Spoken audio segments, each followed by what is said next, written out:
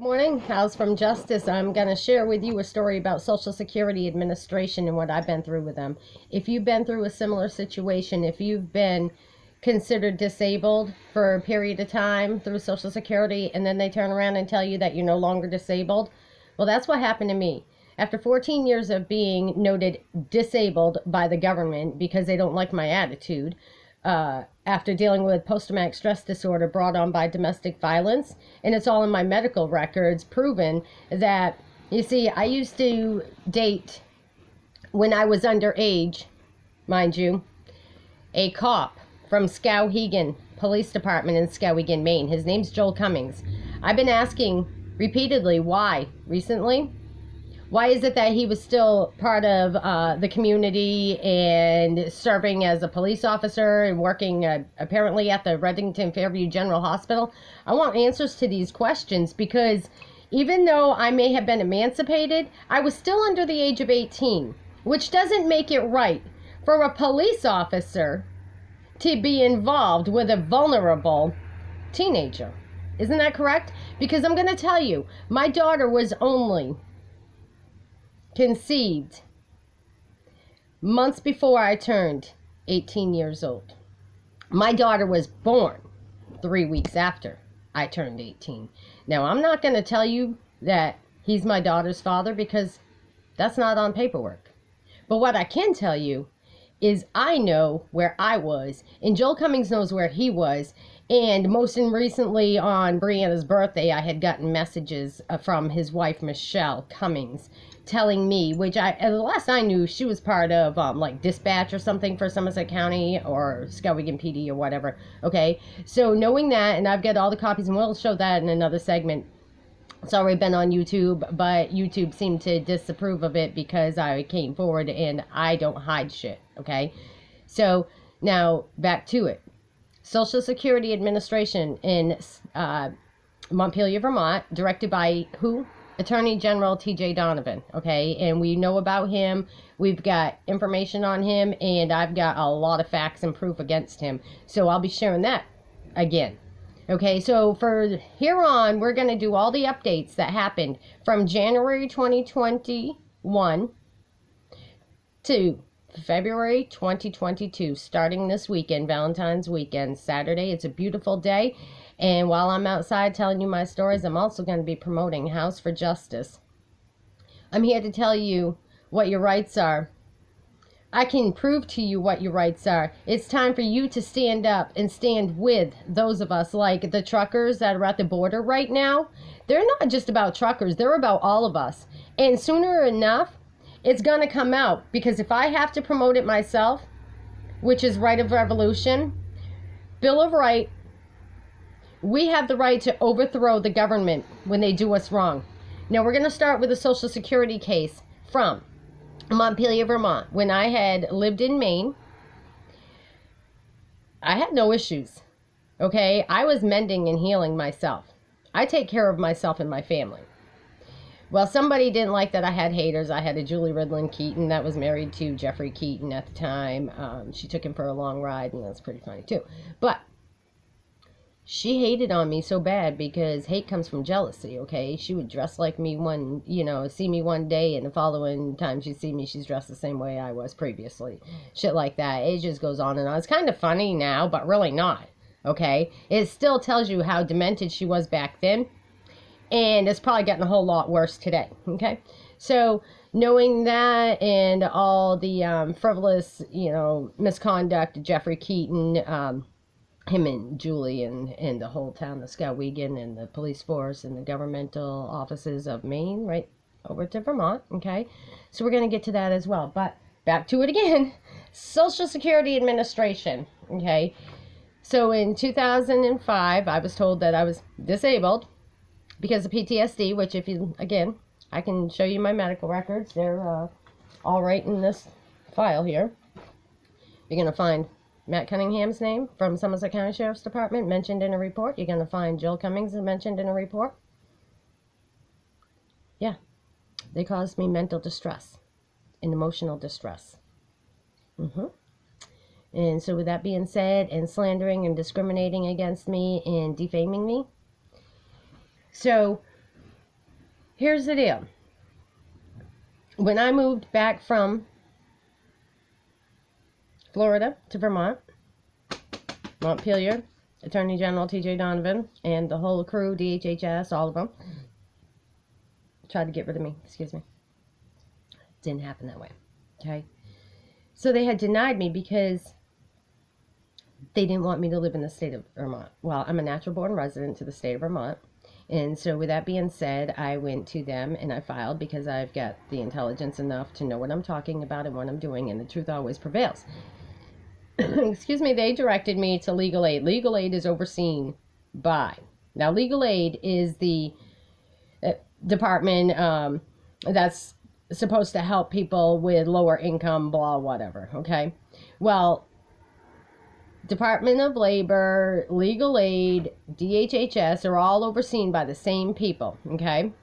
The Director of Human Services, Sean Donahue, and the current Attorney General, TJ Donovan, plus all the senators, and Bernie Sanders is included. That um, So, anyways, then you get the Disciples, Vermont State Police, Mental Health Services, and the um, area health clinics. Okay, they're all connected together with the hospitals and now all these drug task force that if they were out there doing their jobs and they were concerned about drugs, why do we have more drugs coming in than not?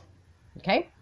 So again, Social Security had found me to be disabled through PTSD and they tried to label me this bullshit they come up with bipolar. Well, bipolar, if anybody knows, is about being happy, mad, glad, or sad. Okay?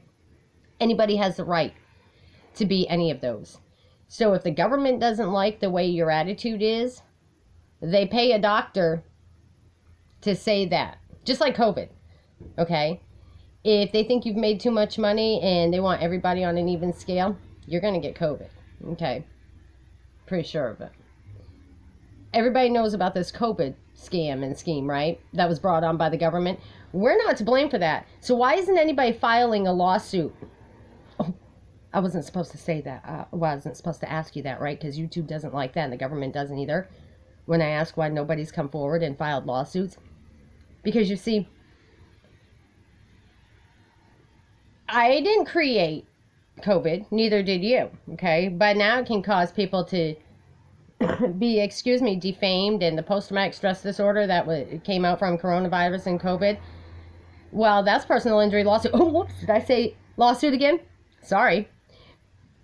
My bad, government and disciples. I mentioned the fact, okay, that we have the right to overthrow the government. It's called abolish the go- abolish the government. Oh, sorry, guys, you're not supposed to know that either. But if you look up Bill of Rights, overthrow the government, you're going to find that that is our duty. And that's why the wars were fought. Because why?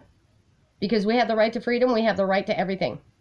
And so back to it again Social Security Administration, okay?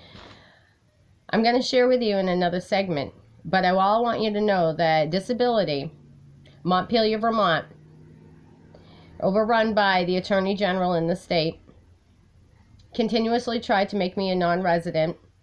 They were sending my mail to another person, and we're going to prove all that because it's right here in this file.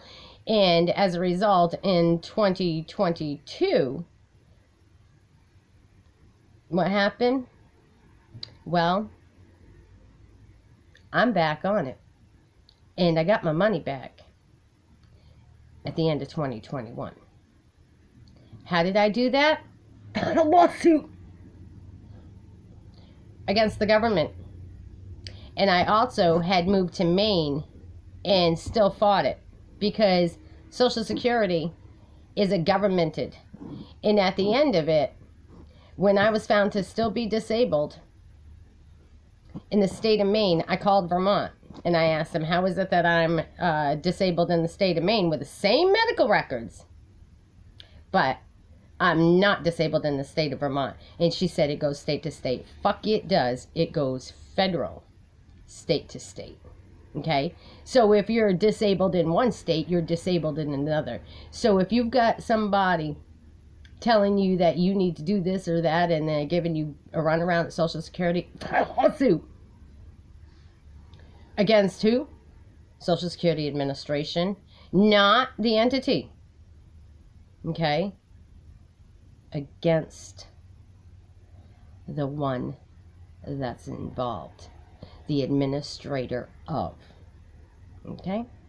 With that being said, this is just an introduction into how Social Security Administration will try to plague you as being disabled. Everybody has the right to be happy, sad, glad, or mad. So bipolar is a made up word.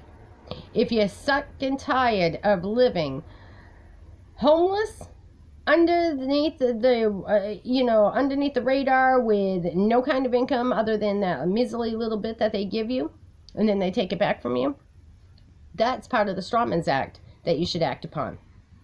Perhaps stop allowing the government to use you as a pawn because the moment that you're born, that number on your birth certificate underneath gives them the right to use you as a lien, as a pawn. Hence the fact that the government's all in this crisis with China and everything, right? Because they dumbed everybody down and put them on disability and then they didn't make enough money to pay the bill created to China. Is that what happened? Huh. Is that our fault? No. So why are we paying the price again? By getting poisoned with this COVID corona? Like I said, that's a, a personal injury lawsuit. So if everybody stood together, we could all make a change together. All you gotta do is snap your fingers, and it's like magic. Make that wish come true. Wake up in the morning and find that COVID disappeared. Why? Cancel the election. Bet that would cancel COVID. That's just my opinion. I'm not suggesting you do that, but I don't vote for criminals and crooks.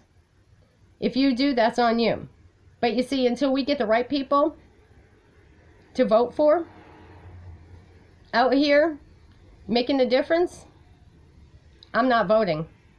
And anybody in their right mind that knows anything about what they want in life and the Freedom Act of America and why and how we got the freedom that we were granted in this country,